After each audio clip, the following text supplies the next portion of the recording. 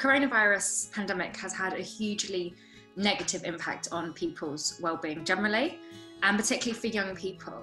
What we have seen and the research has already started to show is this increase in young people struggling with their mental health. I think the reasons for that are due to the uncertainty.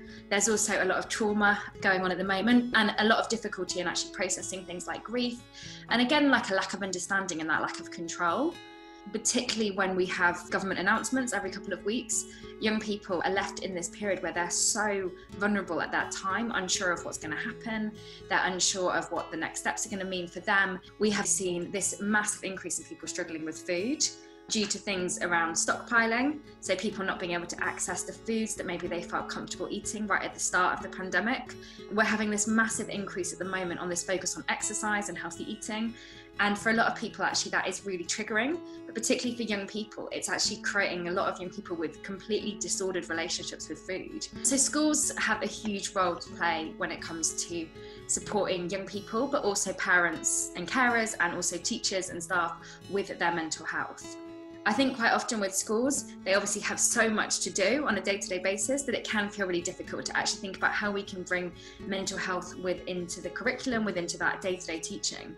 But I think schools need to make a proper commitment to actually be at the forefront of this. I think it's about actually getting involved in awareness days, it's about keeping that conversation going. Wellbeing governors are really, really important across the entire country because we need to have people who are leading the way in mental health. We need to have people who are talking about it and we need to have people at that level showing maybe their own vulnerabilities, but also equipping and empowering other people to talk about it. And that isn't just to check in with each other, but actually making sure they're holding schools to account. So often we all talk about mental health, we all see the statistics everywhere, we know the amount of people who are currently struggling, but if we haven't got someone driving that forward, it won't be seen as a priority because there so often isn't people who are championing it.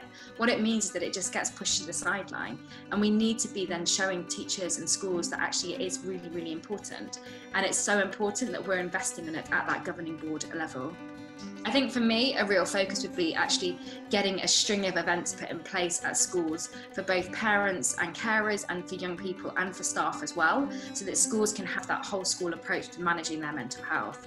It's frustrating that we have had a pandemic that's put mental health at the forefront of this because obviously before the pandemic we were already in a mental health crisis. Right now there are so many individuals out there who are just kind of functioning at that high level. People who maybe struggle with food, struggle with over exercise, maybe they I don't know, they go out all the time or they find ways to numb those feelings and their emotions they don't want to feel. That's just not living a proper life. We need to be educating people on mental health and getting this into schools so much more just by talking about things and sharing and raising awareness of mental health. What it does is it helps other young people know they're not alone in what they're going through. And actually what they're going through is something that loads of other people have been through. People who've been through mental health issues are really strong people and they can be at the forefront of real concrete policy change and government change and even change within our schools as well